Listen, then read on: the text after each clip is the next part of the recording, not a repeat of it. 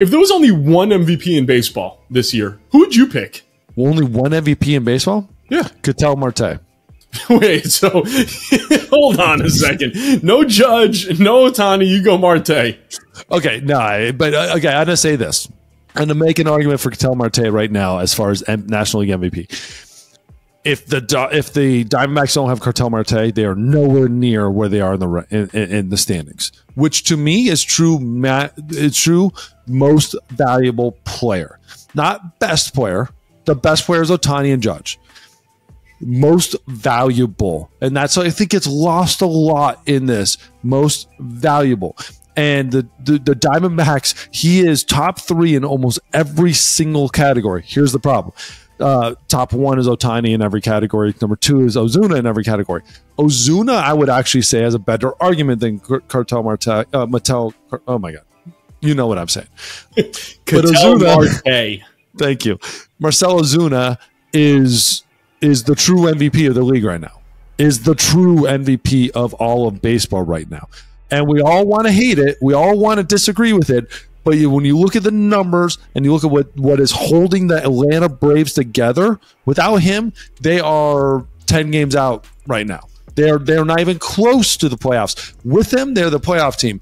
Without uh, without Judge, the Yankees are still probably a playoff team. Without Ohtani, the Dodgers are still a playoff team. That's the problem. Is most valuable. Without Ozuna, the Braves are nowhere, nowhere near the playoffs. The the Diamondbacks would be out of the playoffs, but the Braves would be so far out they'd be dismantling the team. They would you would be talking about the Braves as a complete dismantle. Now with them, they are the third spot in the playoffs, and and and without a doubt. Um, way better and much better team with than without him. That Ohtani is the best player and, and, Judge is the best player of the year. Um, so I still give it to Judge. Um, I would say if I'd pick one, it's Judge, but um, Ohtani's a close two. I don't care what Ohtani does. It's Judge's award right now to lose.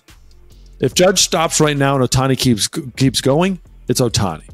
But Ohtani, I mean, again, great. The stolen bases, wonderful but a judge is judge is judge is the best player right now in, in baseball. Or just judge is having the best season in baseball. Times the best player in baseball, and then you go down the list. The most valuable player is, is Marcell Ozuna.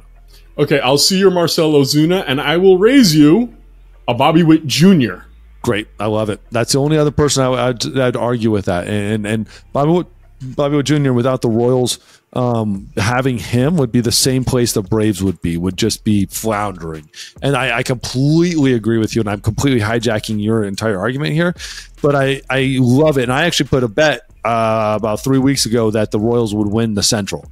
And they were the third place team in the Central at that time. And I'm like, they are coming and they're coming hard.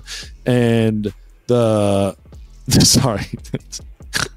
Anyways, but the Twins and uh, the Guardians are are fading fast compared to how the Royals and Bobby Witt Jr. particularly is doing. And I will give you that, and I will and I will I will completely give you that from an American League standpoint. The MVP is probably Bobby Witt Jr. Uh, from National League standpoint, it is Marcell Ozuna or Ketel Marte with Ohtani in a third place. If you actually gave a crap about what the word of the the award is see, there's one guy, and I'm not doing this because I'm a Met fan, but I will say there's one guy that you haven't mentioned at all. Lindor. Thank you. Absolutely, and Lindor still is a fourth in in all those stats outside of hits. And the same time with hits, he's had like something like 15 more games than both those guys.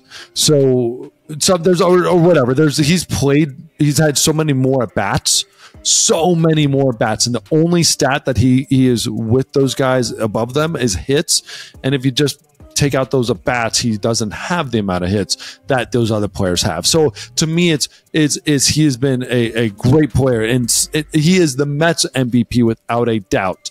But I'd say this: until you get to the playoffs, you're not the most valuable yet, and you're just the you're the best valuable of the rest of the teams. You know that he's got a higher F WAR than uh, than Ohtani.